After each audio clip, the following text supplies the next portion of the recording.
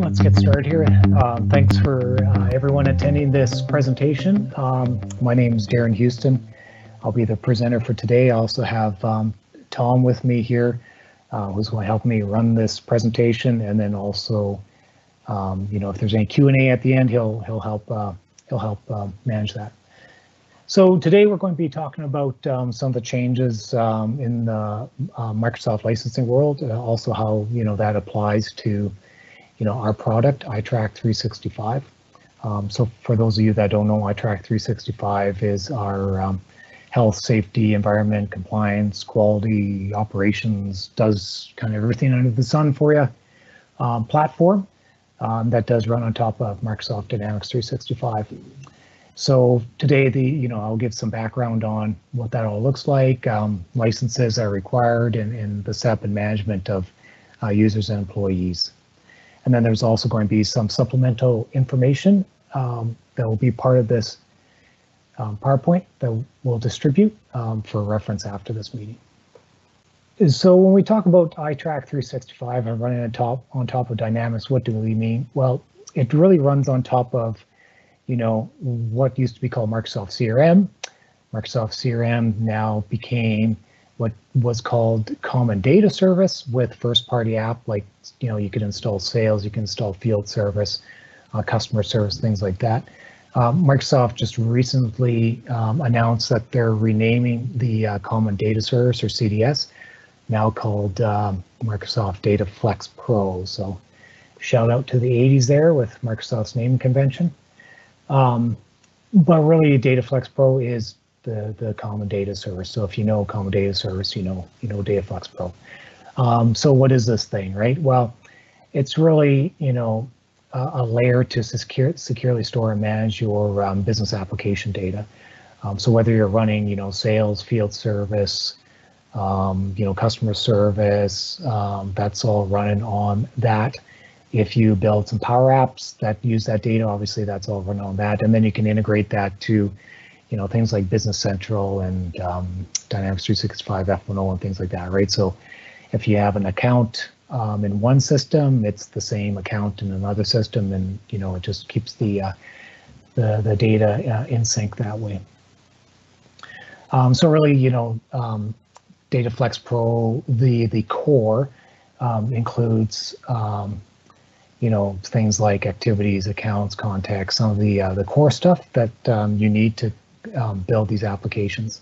And then on top of that, right, you, you, get the whole Power Platform suite too. So you can, you know, hook up Power BI, you know, we talked about Power Apps, you know, Power Automate, all that kind of stuff, um, along with, you know, using other things like, you know, Microsoft's AI and, and all that kind of good stuff. So what does the core look like? Um, core looks like this, right? So you've got um, kind of your out of the box entities. So your accounts and contacts, activities, things like that. Um, if you install any of the first party solutions like sales, you know, you'll get access to things like leads and opportunities and all the other sales functionality. Um, and then when you also put ITRAK on top of this, then you get the ITRAK entities too. So your, you know, your forms, form types, um, you know, hazards, risks, all that, all that kind of stuff that we built. So there's just another uh, look at when you log in um, to, you know, well, what's now called DataFlex Pro Core, right? Um, this is what the core suite looks like. So when I go to my Dynamics 365 link and open up the core, this is this is what I see. So now in terms of um, not only Dynamics, but ITRAK, um, what type of licenses are we going to deal with today, right? Um, so there's uh, a few tiers of licenses. Um, we used to use Dynamics 365 for team members for ITRAK, um, but as some of you know, um, the Dynamics team members has now been limited in terms of its uh, functionality. It used to be uh, pretty open. Um, you know, um, you, you, could read and write to most of the entities in the system. Uh, now it limits it to, I believe, 15 entities uh, that you can deal with. Uh, so that might be okay if you're, you know, having some people, you know, work with some sales processes or customer processes, but it's not okay when you're dealing with ITRAK, right? Because ITRAK has um, many hundreds of uh, entities, right? So the team members is is no good anymore, right? The restrictions were supposed to happen by now, where Microsoft was clamping down on this. Um, that's been moved to I think end of the year because of COVID. Um, which means if you're running these for for ITRAK or if you're running these team members for other apps you've built um, that go beyond those restrictions, you know, you really need to look at some other licensing scenarios here. Um, so maybe that's where you move into what we'll call call the full Dynamics 365 licenses that used to be, you know, CRM licenses. So these are things like the sales enterprise field service, customer service, right? This um, enables um, a lot of the system access for you. So, so you know, if you get one of these full licenses, uh, you do get a lot of functionality with the system. Um, or, you know, if you don't want to pay, um, you know, what these things cost, you can move to now some of the uh, Power Apps licenses.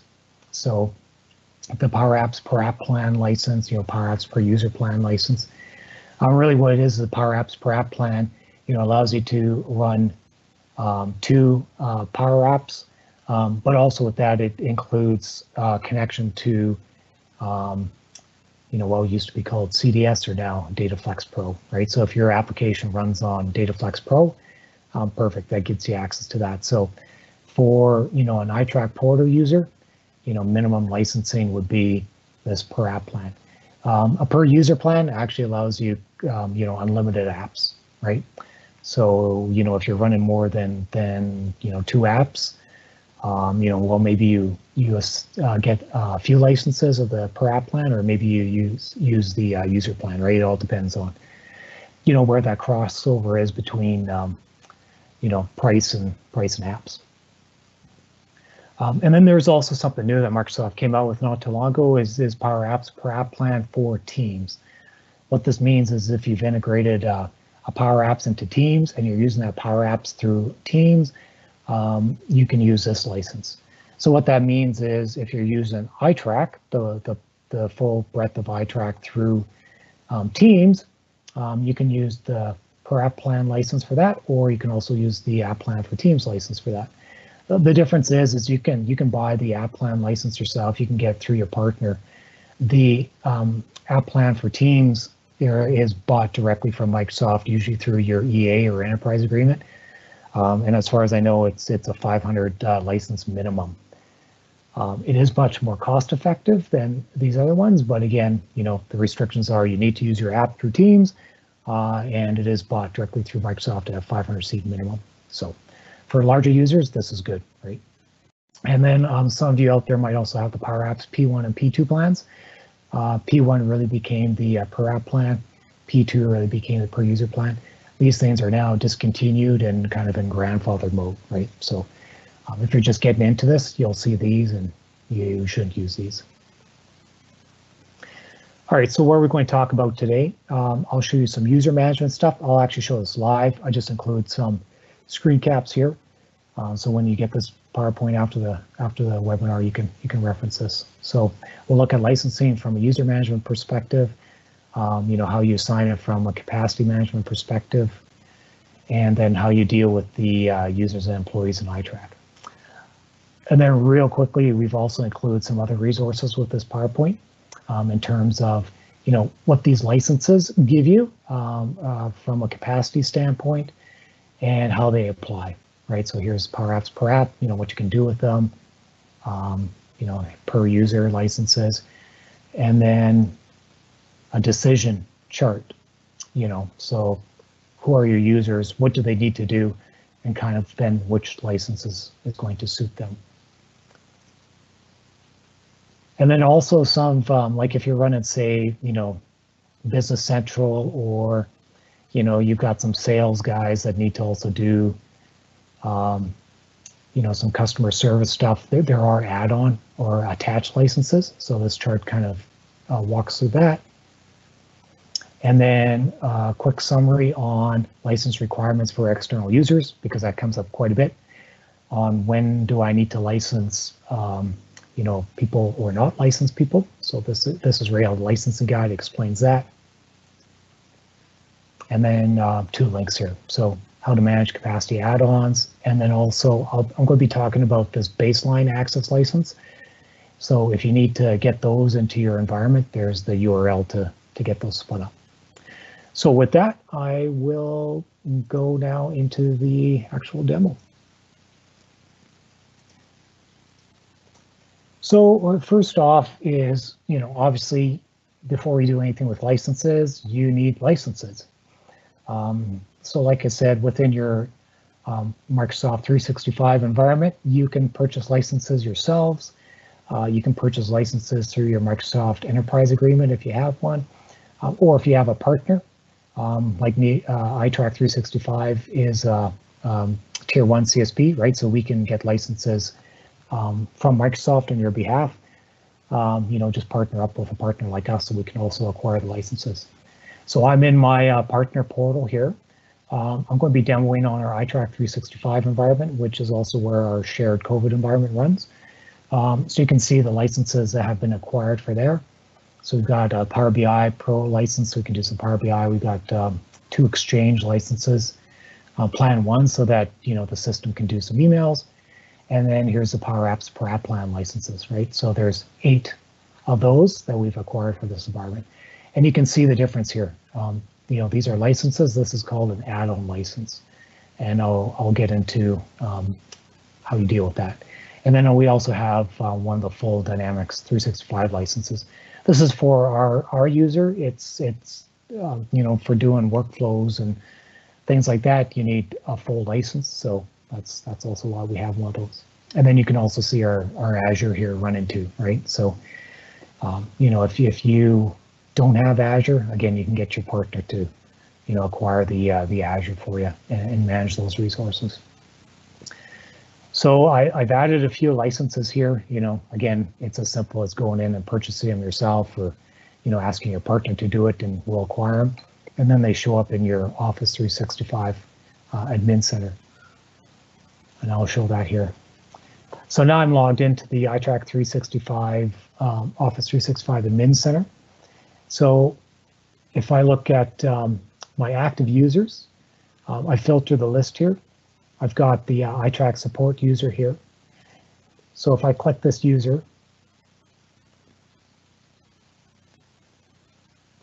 and go to licenses and apps.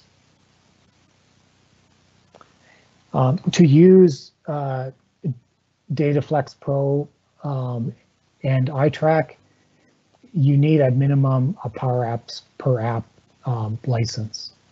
Um, this user does have a full Dynamics license, but let's just ignore that for now. Because the uh, Power Apps per app license is an add-on license, um, you don't actually assign it anymore to the user through um, the license management area.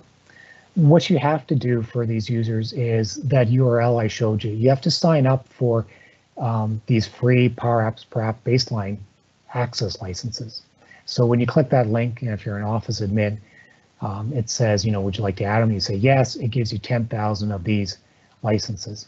So clicking on this license, what that does is say, yes, this user is now able to access, you know, Power Apps, right? Um, so if this user wasn't licensed with the Dynamics 365 Field Service license, I would turn on this guy here the Power Apps per App baseline license, and then just save changes. And what that's telling the system is, okay, this user is now able to use Power Apps, um, you know, which is a requirement for, you know, the full blown version of ITRAK. If they're a mobile only user, um, they don't actually need um, any Dynamics licenses, but um, they do need to be set up in the system to use mobile. So let's assume we turn that on, you know, save changes. The other thing you can do too is uh, you can um, manage licenses through groups.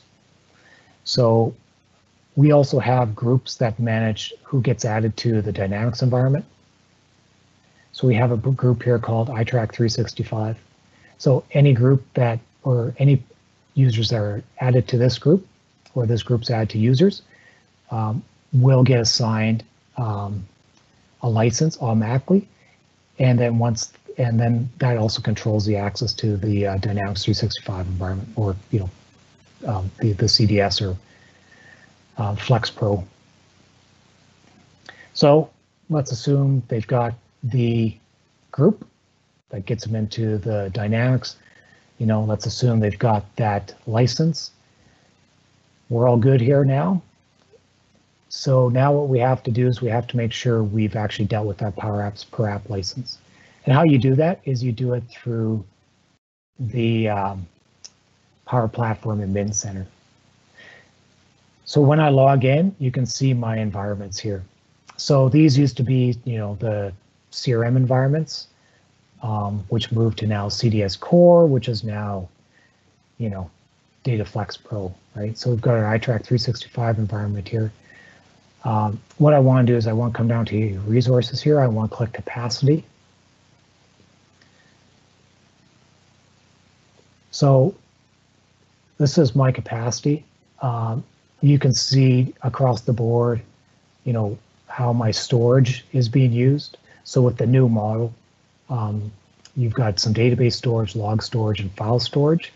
Um, every time you assign capacity or you assign licenses um, for these environments, you you get you you get extra resources. So that means extra storage. Um, you can get more API calls, that kind of stuff, and that's all stuff you can you can look at through uh, analytics and that to see you know who are your heavy users and you know are they going beyond their their usage. Um, but what we want to focus on here is the add-on licenses. So you can see now app passes, right? So I've got app passes here. I've got app passes for Microsoft Teams. So this is where you manage the uh, the per app um, licenses. Um, per app licenses will go to app passes. The per app licenses for Teams will go here. And all I have to do is I click manage. And here they are. So Power Apps or flows. So I've got three remaining. So I just have to go put this up to eight. Save the changes. Now I've assigned all my app passes or my Power Apps per app licenses um, to the ITRAK 365 environment. So it's it's kind of um, you know you kind of have to have a one-to-one, -one, right? Um, you have a user um, that's got the uh, baseline access license, and then you have to make sure that however many users are using this system. Um, so you know that that could be considered you know ITRAK portal users or people using ITRAK through um, the portal app through Teams um, have to have a license. So if I have eight users, I need eight licenses. It's not going to stop you if I have eight users and I only got five licenses assigned. It's still going to work, but um, again, you're going to be offside. It should be um, one app pass per, per user. Okay, now that um, licensing is dealt with, um, because these users have been assigned to the security group that allows them in the system, and now they're they're licensed with the baseline access license. If I come in here into my users, you will see these folks in here now. So if I come down to ITRAK support, there's the user. I can click them. This is one of the issues with uh, COVID-19 and everyone working from home and a huge increase in the usage of the Microsoft products is sometimes they, you know, even Microsoft with their whole Azure infrastructure can't even keep up with demand anymore here. So yeah, this is not uh, not looking good. see if I can work it through Chrome. So assume I clicked into that user um, because they're a licensed user. They are here. Um, and then you just have to manage their roles. So whether that be uh, Dynamics or ITRAK, you know, just click the, the roles you need. Um, so with ITRAK, you know, you really have two main roles that you care about. Uh, it's ITRAK Manager, which means that this user can see all um, forms in the system or ITRAK user, which means um, they can only see their forms. So that's that's kind of the two ones. Or again, if it's a you know Dynamics user, you know you'd be selecting a you know salesperson or or sales manager or something like that. And then the other thing to do too is also come down here and go into the administrative mode and make sure you've got this set up correctly. So there's the read write um, the administrative, administrative is more uh, for folks that are like IT, they're just um, running the users in that. And then there's the uh, non-interactive, which are um, really more for, you know, either users who are not signed into this and, and just using an external system or um, service accounts, right? They're connecting um, a system to, to Dynamics. So that's how you do it. Uh, and then within ITRAK, so I've, I've logged into ITRAK here. Um, what you want to do is you want to set up all users as employees. So all users should really be employees, but not all employees are users, and I'll explain that. So you can see here's the ITRAK support user. I'm under my employees area. Um, it is linked to the, the user account, right? Um, so what that means now is I've got the licensed user, I've got the employee record. Um, this person can now log into the ITRAK portal, right? They've got the license, they've got the user. Um, you know, they're called the, uh, the portal portal access or portal user for, for ITRAK. Um, they can also log into Dynamics themselves to um, this Dynamics interface if, if they need to um, with the right permissions. Now, if if if they were just going to be um, uh, a mobile only user, um, they don't need to be licensed from a Microsoft perspective. Um, that means they're just using the ITRAK mobile and the ITRAK connector in, in Azure. So what that would mean is you would create the employee record, but you wouldn't actually have a user to link it to, right? What's important then is you create the employee record, and then you come in here to user options admin. Now it is named a little funny because we've migrated this to the employee, but um, basically you would you would create one of these records for for the employee, right? And what the uh, user option admin record does is it basically tells the system that um, you know well, a few things really is is you know what areas um, of the portal or what areas of ITRAK can can this person see and use. So you can see for that support ITRAK user, we've got a lot of the areas turned on, you know, jobs, equipment, procedures, comps, all that kind of stuff. Um, but then it also is where the mobile device pin is synchronized with the uh, ITRAK um, mobile connector in, in Azure. The other thing too is, is if the user has a, a company set, um, if they are a portal user, when they log into the ITRAK portal, um, you can specify theming, right? So you can have multiple themes depending on, you know, who the user is, right? So if you have, say, you know, three sub companies under your corporate umbrella, you know, all the users of one company can have a different theme than, you know, users of another company. So again, to recap, um, you know, if an ITRAK user um, uses the portal, they need to have the proper Microsoft Dynamics or you know Flex Pro licenses. They have to have the user in Dynamics 365, uh, and they have to have an employee created with that user attached and the user options admin record um, created. If they're a mobile only user, there's no Microsoft licensing. There's no setting up a user. It's just go in here, create your employee, uh, create your user options admin record, and away we go. So the only other thing I want to mention that is sometimes forgotten is if I go back to the employee record here, and I go into um, company information, it, it used to be for old ITRAK versions that um, the email on the user record was what the hub used, the mobile hub used to connect, um, or basically to create a, a an account um, within the mobile connector that says, you know, here's your, um, you know, email and PIN to to use mobile.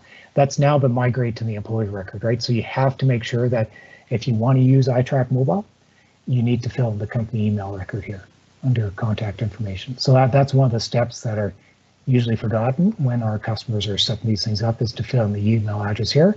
And then they wonder why, you know, that mobile pin's not syncing across uh, in the user options admin record.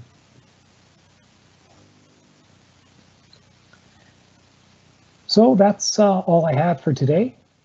Uh, if I just go back to the uh, the links here, again, if you want to look at how do you manage the capacity add-ons, um, not only for you know Dynamics 365, but also for other Power Apps and that.